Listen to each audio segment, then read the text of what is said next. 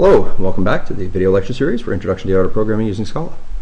Um, last video we looked briefly at um, inheritance and we looked at the simple example of a shape class and some subtypes of shape. And we pushed it just far enough uh, that we that you could see the syntax and you could see what it looks like in the diagrams. And in this video we want to push it a little bit further and talk about some more of the language features that are involved here. So if we go back to our code we have a shape. The shape has a color. It has an area, and the so it stores a value of a color. It has methods to calculate an area, a perimeter, and to draw the shape. And these methods basically don't do anything here. We also have two subtypes, a rectangle and a circle. And what makes them subtypes is the fact that they say that they extend shape. Now, to make it clear what's going on here, I am actually going to put in a main. So I'm going to put in a companion object for shape. And I want to be able to run this program so I will put in a main.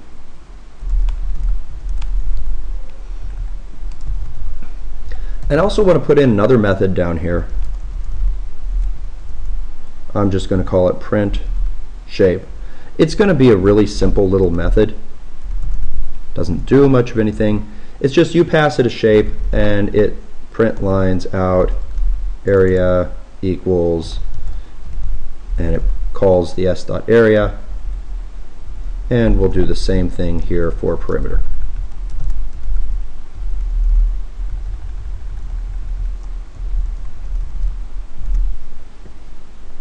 Not going to do anything that uses draw at this point because that would require popping up uh, a GUI, um, which would be a little bit more code than I want to go into at this point. And we can show that the so the the fundamental idea of, of the polymorphism is the fact that this shape S, whatever we pass in, can be any subtype of shape. So right now it could be, it doesn't have to be just a shape, it could be a rectangle or a circle as well. And if later we decide to add a triangle, this will work with a triangle. And so this is our first polymorphic method. Okay? This method in, in, a, in a very real sense can work with an infinite number of types. Okay. If I'd only work with three types right now, the three that I have, shape, rectangle, and circle, but I could create another one in two minutes, and another one after that, and another one after that, and another one after that. There is no bound other than my patience in typing in new subtypes uh, for how many shapes this method can work with. And therefore, it effectively works with an infinite number of types. And to demonstrate this,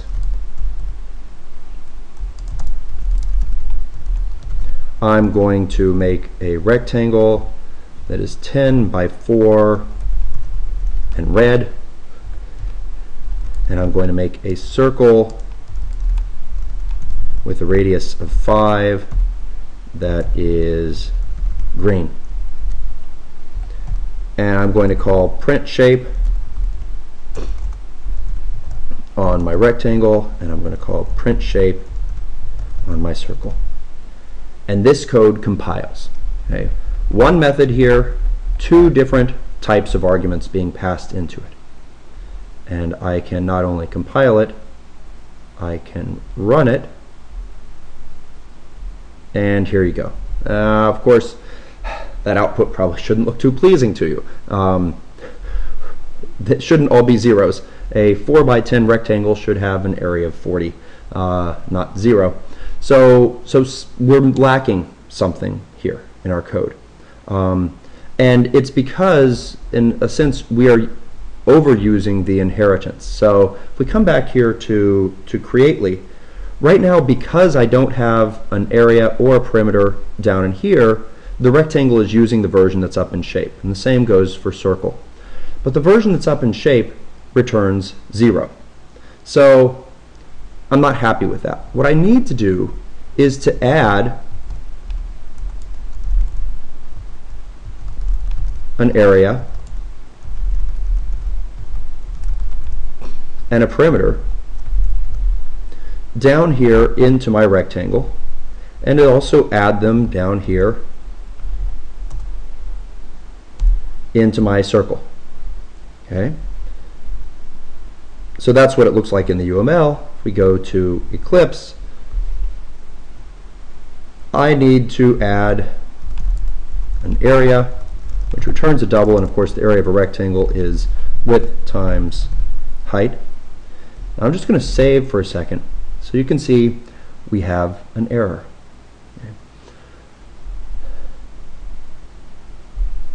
Our error says that this overrides something. Um, method area needs override modifier. So in this case, my subtype rectangle is changing the behavior of the area from the supertype. And that's a very allowable thing to do, but it turns out that when you do it, uh, this kind of cuts both ways. A, when you do it, you need to be certain that you realize what you're doing. And so you shouldn't be able to override kind of in the dark without realizing it. And it turns out that if you want to override something, if you want to override something and you do something wrong and you don't quite override it, like you put in an argument, so for example, if I do that, I'm no longer overriding, I'm overloading, which means that the version from shape is still there and my code's going to still give me zeros, and I have seen lots of students do this where they're like, no, no, this is supposed to give me width times height, and it's giving me back zero.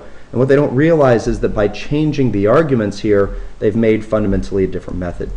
And so to deal with both of those problems, Scala requires that when you are overriding, you put in the keyword override. So let's do the same thing here for perimeter. 2 times width plus, right? And I can copy these two methods and I can put them in circle with appropriate definitions. The area is math dot pi times radius times radius, pi r squared. And the perimeter is 2 times math dot pi that should have been a times math dot pi times radius, 2 pi r. So now if we come back to our shapes and I run it, by the way, instead of using the right click in the menu there, I hit Control F11 and that's what brought that up. And now you can see we have correct areas and perimeters for our circle and our rectangle. Okay. So that shows how you have to override you have to this is how you can override methods because you want a different implementation turns out we should probably override draw as well uh, we'll get to that in just a second um, because the draw that's up in shape is not necessarily what we want for here um, so I was able to override these methods the problem is I'm still able to, so if I created some other shape of triangle, I don't have to override it. I don't have to provide an implementation because by default it will come up and use these implementations. These implementations are garbage. Okay? And really, in reality, I should not have even written these.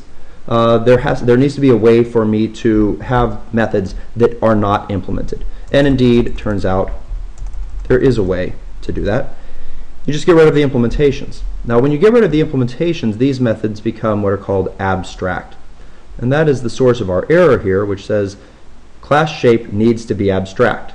So if a class contains even one abstract uh, value in it, so a method, turns out vals, vars, types, all, all types of declarations can be made abstract.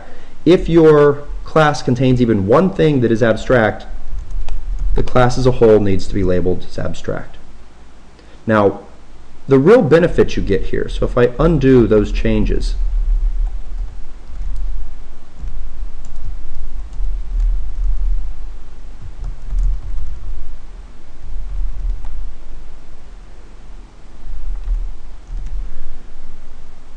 left out the word new. If I undo those changes and I come down here, I can create a new shape. Now, in many ways, this should strike you as troublesome because what is a shape? You know what a rectangle is, you know what a circle is. A shape is kind of a concept. It exists. You, if I ask you to tell me a shape, you can pick one. But there is no such thing as a shape that, that isn't something else. Okay, really, the shapes need to have subtypes to them.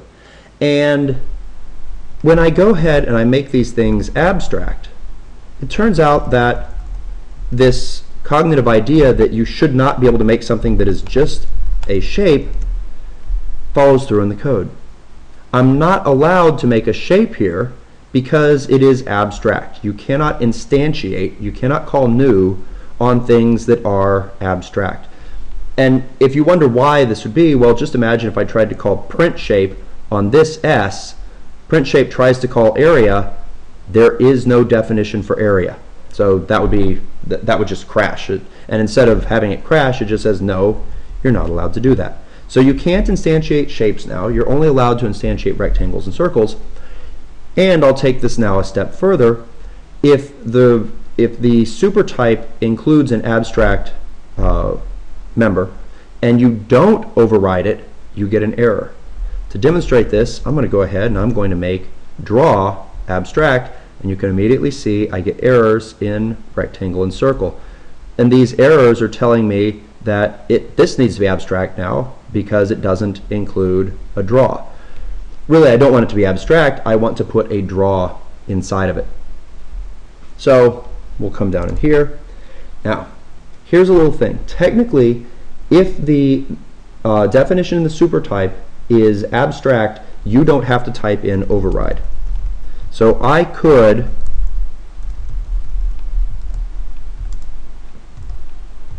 do this.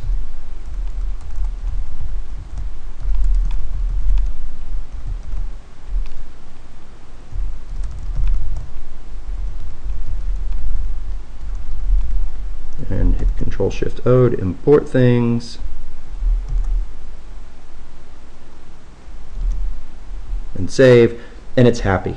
However, I'm going to recommend that you get into the habit of doing an override because of the reasons that I mentioned earlier if I were to mess this up. So it wasn't a graphics 2D, if I said it was just a normal graphics, or if I decided for some reason I was going to add an extra argument here, um, then I'm no longer overriding. And since you are allowed to put the override here, even if the method in the supertype is abstract, what if they decide that they don't want it to be abstract, they want to actually put an implementation in? Well, if you didn't have the override, your subtype class no longer compiles. There, just, there are many reasons why you should consider putting an override anytime you are overriding something.